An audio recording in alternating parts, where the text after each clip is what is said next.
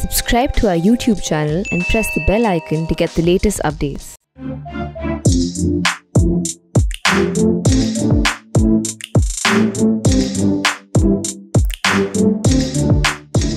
Hello and welcome to this edition of Soft Cover. We at the Print uh, have this platform in collaboration with HarperCollins uh, where we launch a new book.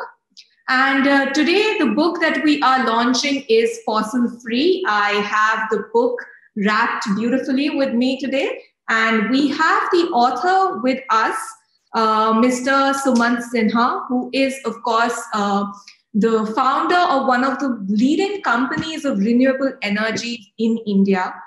Uh, welcome, Mr. Sinha. Welcome to ThePrint. Thank you so much, Mohana. So before we start, I am going to uncover this book, and uh, so that our viewers can take a look at the cover. Uh, of course, there's one right there in your office. So this is the book. This is how the cover looks. Uh, it's called Fossil Free Reimagining Clean Energy in a Carbon Constrained World. So, uh, first of all, congratulations, sir. Uh, Thank you so much. It must have been a, a wonderful experience writing this book uh, to begin with. You have been in the industry for a long time. So, can you tell me? I'm sure there must have been a triggering experience that led you to think that, okay, I must put all of this down in a book. So, what was that for you? Thank you so much, uh, Mohana, for having me on this show. Um, you are you are right that there was um, I wouldn't say a triggering uh, specific event, but certainly a triggering time, and that was really driven um, uh, or it came about when um, you know I found that there were a lot of misconceptions about renewable energy, and um, in in general, people had this belief that renewable energy was more expensive than than thermal power, and that therefore it required some degree of subsidies to be adopted, and that while it was good for the climate, it still required uh, you know government intervention to make it move forward. And really, what had happened over the last uh, two years or so, starting from let's say 2018 onwards, is that renewable energy had come to a point in terms of cost where it was cheaper than any other source of electricity. And that was something that was not well understood. And, uh, and, and, therefore, it actually did not require any subsidies. Uh, it, in fact, if anything, thermal power is subsidized in the country. And so, on a like for like basis, um, the reality was that renewables was just cheaper than anything else. The second triggering point really was this issue of climate change, which is becoming bigger and bigger. And you know, uh, I just felt that uh, what the countries of the world were doing on that front was simply not enough, and that uh, one of the big solution points for the climate change crisis was renewable energy, and that now with renewables becoming so much cheaper, there was a very good market based a commercial solution that was available to tackle this very fundamental problem right. and because this issue was not well understood therefore i thought it made sense to put all of this down in a book uh, tell people really what was happening in the area of renewable energy and in climate change in general why it was such an important topic and how renewables could play such a fundamental role in basically making us move forward to address both our energy needs most most uh, uh, cheaply and also deal with climate change at the same time. Right. So that really was what started me on writing the book. It was the desire to get this this known more out there. Yeah, and, and uh, speaking of climate change, your book comes at a time when we in India, uh, it's very real for us. It's here and now, the climate change, or I think right now we should call it the climate crisis, in fact you know, the, we saw the whole of last year, we saw uh, unprecedented floods. We this year we had two uh, devastating uh, cyclones, and almost every other climate disaster that we are seeing, and uh, natural disaster that we are seeing, is being linked to climate change. Uh, and as you have pointed out in this book, we are spending billions of dollars uh, to mitigate these, to to sort of fight these disasters uh, in terms of relief funds. And, you know, all of this could have been prevented if, say, we, we you know were, were more careful about how we did our energy transition and in fact uh, the way you start your book is by talking about how um, at one point like say 2000 years ago humankind was limited by how fast our horses could move. And then came the steam engine. And that's what really pushed uh, humankind forward. So you know you know just let's get a little more into that about how energy came and took us forward, but also came at this great cost. Yeah, you're absolutely right, Mona. And you know, basically, for the longest time, uh, humanity's relationship with energy was very limited in a sense. It was limited to what we could do through our own muscle power or through the muscle power of animals and some very rudimentary ways of utilizing energy. For example, uh, fire, of course, was one of them, burning things, right? Heating food. Um, similarly, um, you know, at some point it became a question of, for example, using, uh, uh, you know, potential energy to move water across long distances like the Romans used to do. Uh, so those were the very basic aspects of how we used uh, energy. And then somewhere around uh, the I would say the 17th century onwards, um, and really the 18th century and 19th century more particularly, is when this issue of moving beyond biomass, which was really burning wood, uh, moved towards uh, burning coal, and then along with that, you know, the the discovery of the steam engine, which allowed us then to start uh, developing trains, locomotives, and also steam-based uh, pumps that could then start moving things, uh, you know, and uh, developing these rotating motions and these up and down motions. That allowed the whole industrial revolution to start. And so that really happened around the, I would say, the, the 19th century, the early 19th century onwards. And that's when they moved. That was in some ways the first big energy transition that humanity had, where we moved from biomass to coal, which is a different kind of biomass, which is fossil based. Uh, and then from there, and the, the real, the whole I would say in some ways, humanity, civilization really started, right? And then from there, I would say in the uh, early 20th century, we moved into oil. Oil was discovered. Uh, the internal con- combustion engine was discovered. That people found is more efficient than the steam engine. And so therefore, we had the whole discovery and uh, usage of mobility as, as, a, as a use case from the, from the oil and the petroleum that was being discovered. And so starting in the early 20th century through to the middle of the 20th century, I think is really when we moved into our big second big energy transition. And that was really into the oil, uh, petroleum, uh, petrochemical industry that was set up.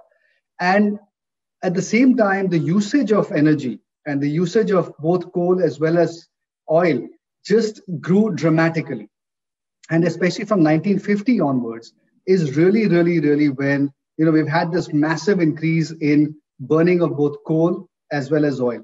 And if you look at some very simple data points, you know, the per the the amount of uh, carbon that we used to emit into the atmosphere in the mid 1900s, let's say as recently as 1965, the year of my birth, by the way, uh, we used to emit about three gigatons of carbon into the atmosphere every year. 50 years later, that number is now up to close to 10 gigatons of carbon into the atmosphere every year. So it's actually increased by more than three times in the last 50 years. And what this has done is that it has basically taken the carbon budget and the amount of carbon that we could put into the atmosphere and really shrunk that. We don't have that much space left. And mm-hmm. therefore, also from that time onwards, the, uh, the temperature change that has been recorded is a full one degree temperature change that has happened from, from the mid 1900s onwards to right now. So right. we're already at, at the point where one degree centigrade temperature change has already happened, and right. which is leading to some of these issues that you just mentioned.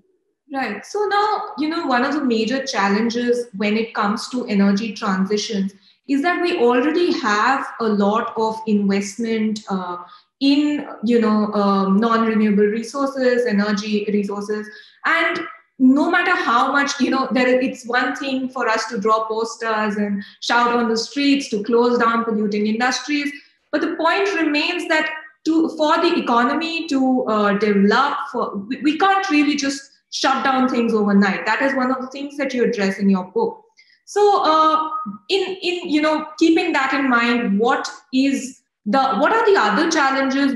How do you overcome this challenge? Uh, you know, what what is your viewpoint on that? Well, you're absolutely right. Uh, this is what is known in the industry as the lock-in problem. You know, the electricity grid was set up 100 years ago and has, you know, there's been tremendous trillions of dollars of investment have gone into it, not just in India, but everywhere in the world. Um, and the same thing on the generating side. We have these massive thermal power plants, you know, tens of tens of thousands of megawatts of thermal power plants. We have all these, um, uh, you know, I, ICE, which is an internal combustion engine driven uh, electric vehicle, sorry, vehicles on the on the roads. What is going to happen to all of that? Right. We can't just wish it away, as you rightly said. We can't just think that oh, let's just, just sweep all of this under the carpet, because obviously one is how do we live life otherwise, and we have nothing to replace it with in the in the near term. And so therefore, necessarily, whether we like it or not, there will have to be a time of transition, which is why this is called, the, in my view, the third energy transition, where we have to move away from fossil fuels to the renewable energy sources or the clean sources of energy. And that has to therefore lead to two different transitions actually right now. It's not just one transition that is going to be upon us. There are two interdependent transitions. One is that today electricity itself accounts for only about 30% of the total carbon emissions. Mm. Okay, energy as a whole is about 70%, but within that, electricity is only 30%. 40% of energy is for heating purposes, you know, for uh, uh, transportation, uh, aviation, all of those things, right? Now, the first question is how do we make this 30% number out of the 70? How do we make that a bigger number? Right. And convert more things into electricity than just plain burning something and generating energy out of that. Mm-hmm. So that is the first energy transition that we have to look at. And there, obviously, electric vehicles coming in, you know, and therefore the whole movement of transportation into electricity uh, is going to be very important. But even aviation and maritime, for example, which are also big uh, consumers of carbon emissions, uh, those also have to get moved into electricity at some point in time. Yeah. Similarly, heating applications and industries have to move towards electricity. So there are, there's a big aspect of effort that is involved in moving more and more energy consumption into electricity and make that 30% number go up to 50, 60%, right? So that's one energy transition. And there's a lot of work going on in that area. You know, all the Teslas of the world. You know, then there are companies working on um, electric, uh, you know, flying cars and so on. So all sorts of very interesting things that are going on in that area. The second thing, of course, and almost the more important thing is how to take this 30% and make it carbon free. Right. And that is really where you have to uh, really move towards clean energy. But you're right that this out of this 30%, today renewables is only 10%. percent mm hmm 27% of that 30% is the traditional legacy fossil fuel industries. So that there are, there are two ways to look at it. Number one is that countries like India, which have just hit our development path, right? You know, we'll have a, you know, we have to be given a longer time to deal with our, our technology lock-in problem, right? right? And so therefore, uh, you know, maybe instead of getting there in 30 years, maybe we should be given 50 or 60 years, right? Now, technology will help, of course. As technology evolves, you know, we'll be able to faster replace legacy fuels, but we should be given more time. It should not be forced upon us. Whereas the Western world, which is the which is the part of the world that has been most responsible for these carbon emissions, they have to start moving faster towards moving to first carbon free and then negative carbon emissions. Right. Because if you look at it, if today the pace is still going, carbon emissions are still going up, right? Now the Western world is trying to make it flat. So they're talking about carbon peak. And then they'll have to start bringing it down, carbon emissions. Mm-hmm. But even if emissions every year are going down, the total amount of carbon that you're putting into the atmosphere is still going up. Right. So at some point, you have to start sucking carbon out of the atmosphere. Right. Make space for countries like India, which have yet not hit our development path, mm-hmm. and give us give countries like us more room. So this whole thing about dealing with the technology lock-in the answer is going to be different for different countries, depending on where you are in your development paradigm and how much you've actually contributed to emitting carbon into the atmosphere. and therefore we need new technology developments to happen on preventing you know taking carbon out uh, you know moving faster and faster towards uh, uh, non-carbon based uh, technology right. So since you have been in the forefront of renewable energy uh, see one thing is that india is in a unique position in the sense that we do have the world's largest population. And at the same time we have very low um, per capita consumption of energy which again is something that you pointed out in your book. So there is there is massive scope for growth. Now do we have the resources? Are we self-reliant in uh, you know creating the, these resources? I mean it's one thing to have a renewable energy company and uh, the capacity to build these uh, you know power plants. But we also as as far as i understand we are not self-reliant when it comes to semiconductor metals which uh, forms like a you know important part of both uh, the uh, renewable energy sector as well as the uh, electronic vehicle sector. So uh, you know how do you how do you position india there and what do you think you know is is our position globally are we self reliant or what is our way forward there yeah you know um, so that's a, that's a, of course a very good question. I think if you look at it, uh, India, as you rightly said, is in this unique position that we are starting our development paradigm at a point where uh, the uh, uh whole um, technology is changing. And therefore, we have the opportunity of not growing the way that most other countries have grown in the rest of the world so far which has been a carbon intensive method of growing. Exactly. We have the opportunity of growing in a way where we actually take on these new technologies and in, incorporate those into our very fundamental development path and therefore grow in a carbon light way, which eventually becomes carbon free. Mm-hmm. And the reason I've talked about India growing in carbon in a carbon light way is because I think it'll still take us time to grow in a carbon light way uh, before we move to carbon free. You know, it'll take us a few decades for that to happen. So the first step is to become carbon light and then to become carbon free.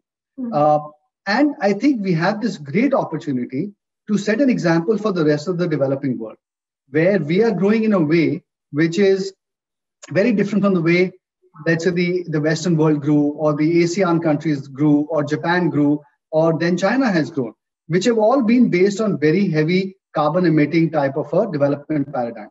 And the good news here is that the government of India is taking a very active role in that. And that really is what gives me a lot of uh, hope. And really, uh, in terms of the development of the new industry, which is our, our renewable energy industry. And then you rightly observe that manufacturing is going to be an extremely important part of it. It's not just good enough for us to simply uh, put up capacity where we buy equipment from here, there, and the other and we don't have any of our own uh, indigenous technology development activity, that I don't think makes sense. And so, therefore, we have to have a situation where we actually have manufacturing in India and we have R&D in India. And that is going to be very critical for us, not just to grow in a carbon-free way, but also to uh, become a leader globally in growing in this manner, where we can actually have a thriving and, and job creating and technology intensive and R&D intensive sector. And this is one area because it's such a new area that India can truly take a lead in the world. And, and uh, speaking of R&D, you yourself have set up a, a center in IIT Delhi. Uh, so uh, what is the kind of work, if you know, I know I'm going off a little bit from the book, but what is the kind of work that is happening over there? Well, you know, um, it's interesting you ask that because uh, we've spent a lot of time with the IIT Delhi professors on understanding the kind of research that they've been working on. And you'd be amazed to know that the kind of work they're doing at a very fundamental research level is already quite, quite, quite good. Right. Um, the gap that exists, however, in India in general, is that of translating this really good fundamental research into application oriented research, which can then be used by industry. Right. And so what we are trying to do is we are trying to tell, tell them, look, here are the things that we would like. And please, therefore, reorient your research in a way that it can actually be something that we can use. So the kinds of things that we're looking at is, of course, you know, as you know, Northern India every year goes through this horrible pollution situation, uh, which we're going through right now. Right. But even other, other than that, we have fairly high particulate matter in the atmosphere in northern India.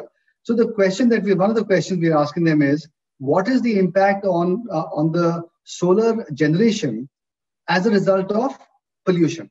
Mm-hmm. And can that pollution impact uh, you know, how much does it impact uh, actual generation? Is it a linear relation? Is it some other kind of relationship? What kind of particulate matter impacts generation more? And there is this is relevant to us because obviously, if you're putting up solar panels on rooftops and homes, uh, we need to know how much it's going to generate given the pollution levels that exist in India. Uh, the second uh, work that we're doing with them is basically around the issue of how can the uh, how can renewable energy interface better with the grid? Mm-hmm. because obviously the more renewables you put into the grid the harder it becomes to manage the grid. So at right. what point will problems surface and therefore how to manage that that whole interface with the grid? So that's another area where we're working with them on. So it's these kinds of things that we're working with them on. Now it'll take time to come up with solutions because you know r&d necessarily takes time to happen um, you know where they get the right expertise on board they get the right phd students the right professors and they start reorienting their mindset and then start doing work. So it'll take time, but I'm very hopeful that uh, it's going to result in something really tangible. And frankly, we need many, many more of these kinds of uh, activities for it to uh, make sense. Yeah, and in your book, you also mentioned how uh, you know we our approach needs to be more uh, market based rather than you know like depending on just government policies because you also mentioned how uh, you know what happened in, with the US, where uh, you know it was quite unfortunate that they uh, pulled out of the Paris Accord. So uh, first of all, my my first question is that you know how uh, do you see that? Uh, do, you, do you really think that entrepreneurs in India will be able to rise up to this occasion and meet the demand that is there? That is first. And second, you know, considering what happened in the US elections, do you think that uh, things will change now in the global, uh, you know, perspective? So both are uh, excellent questions spanning the two ends of the micro and the macro spectrum from India to global. So on the first question, uh, I would say the answer absolutely is yes. I think Indian entrepreneurs will uh, take advantage of this opportunity I have the greatest of faith in Indian entrepreneurship. Um, some of the people that you meet in India coming out of the educational institutions are really, really smart. And I was just talking to the director of IIT Delhi yesterday, which, as you know, is my alma mater as well. And he was saying that in a survey that they'd done of students on campus, fully half the students said that their preferred career choice is to become an entrepreneur. And so, therefore, there is a very fundamental change that is happening in how young people today are looking at their own future. And I think that, you know, success stories that are out there now are really creating pathways and examples and role models for the young people of India to really envision their lives, their lives and their futures in a very different way. And so I'm sure a few of them will certainly come into our sector as well. And these are bright young minds, bright sparks. The opportunity space itself in India is vast. So I'm I'm super confident that you will have a number of really great entrepreneurs coming out and starting, you know, brand new companies. Could be in the digital side, could be in new technology development on solar, it could be on wind, you know, could be in grid integration, could be in any of these factors, but I'm sure that will happen. And I'm also sure about one more thing that a number of these companies are going to go are going to go global because the global opportunity is also staring us in the face and therefore once we've captured the Indian market, you know, the global market is next. So that is as far as your question on entrepreneurship in India is concerned. The second question on whether, in fact, uh, what will happen in the US or to the world as a whole, you know, to me, uh, the US pulling out of the Paris Climate Accord was one of the big tragedies of the world in the last several years. Um, and I'll tell you the reason why. You know, climate change is a really intractable problem it's, it's a unique problem that the world has not faced so far. Uh, it's the first problem where I would say that uh, all the countries of the world are in the same boat. You know, now you may say, oh, isn't COVID, for example, a similar crisis, mm-hmm. right? Where everybody's in the same boat because everybody can get infected. There, there are some differences. Number one, in COVID, we all know that there will be a vaccine that will get discovered somewhere at, at some point, and bam, the problem will get dealt with and go away, right? Or at least largely go away. Uh, the same is not going to happen. Approach is more short term because you know. Exactly, exactly. In climate change, that's not going to happen. The carbon that we're putting into the atmosphere is going to stay there for centuries and centuries unless we find a way of extracting it out. And even then, it'll take many years for that to happen. The second thing is in, in COVID, you can actually shut your borders, right? You can prevent people from coming in. And once you've made sure that your own country doesn't have a lot of infections, you can just shut your borders and not let people come in, right? Right. Climate change, you can't do that. You cannot shut your borders, right? right. Because cyclones, uh, cyclones don't respect borders, mm-hmm. right? Um, uh, temperature change does not re- respect borders. So, therefore, climate change is this unique problem where all the countries of the world, whether we like it or not, are in exactly the same boat. You may call it the same planet, right? And so, therefore, we need all the countries to work together. And because there are a lot of nuances and complexities, certain countries have polluted more, but are not polluting so much today, mm-hmm. right? Whereas countries like India have not polluted in the past, but are polluting more today. Right. But on the other hand, on a per capita basis, India is hardly doing any pollution mm-hmm. because we've got 1.1, 1.2 billion people compared to, let's say, some other country in Western Europe, which is putting in the same carbon but has one tenth the number of people. Right. So therefore, you know, this is a very difficult problem to solve. Now, we need countries of the world, the larger countries especially, to come in and take leadership mm-hmm. and drive the whole multilateral process forward. And that is what had happened in a small measure, only in a small measure, at the Paris Climate Accord. You know, even if you add up all the voluntary, first of all, there were voluntary commitments that countries made, they were not binding commitments. But even if you added up all the voluntary commitments, the temperature change that was going to be caused if all those voluntary commitments were actually met was about three and a half to four degrees centigrade. And all the countries had agreed that we can't afford to have more than one and a half degrees centigrade temperature change. So we were never on that on that path. In any case, even after the Paris, the widely celebrated Paris Climate Accord, it was still not a sufficient agreement between countries. And then on top of that, if you have the US, which is which has to provide the moral leadership for this whole thing, which has put the most amount of carbon into the atmosphere, almost a fifth, and is continuing to pollute about 15% every year. If they pull out, then what is the moral pressure on anybody else? Right. And so that that is why that I think is a tragedy that has been underreported in the world as a whole. Um, so do you now think how me, that will change? Yeah. So now to me, the biggest consequence uh, or the consequential impact potentially of the transition to uh, uh, Joe Biden is that he's a big believer that climate change is real and we have to do something about it. Yeah. And therefore, he'll come back into the Paris Climate Accord. And I think the US will come back to the table to put pressure on countries to, uh, you know, to do something about this. And I think that is, to me, the biggest positive impact of the elections. Uh, but of course, we have to wait for the transition to play itself out fully. Also, this this actually highlights what you were also saying. You know, like uh, governments are uh, not as stable, but climate change is a constant process. So that is where we actually need practical solutions and uh, not just uh, uh, you know a government mandate or something something that will work out economically. If if I find that coal is cheaper than a solar powered you know any appliance, I, I will go for that you know for for any layman that is that is the reality. So i think that is uh, what you mean when you say that uh, you know market based solutions are what is going to bring uh, this whole transition and make it successful. And i think it's entrepreneurs like you who will actually make that possible no you're right but i think there's one other factor that we do have to consider you're absolutely right that um, that governments have been acting far too slowly on the climate change problem and part of the reason has been because of the fact that it required extra funds to deal with the climate issue. Mm-hmm. Now, because it has become commercially viable, that those extra funds are not required.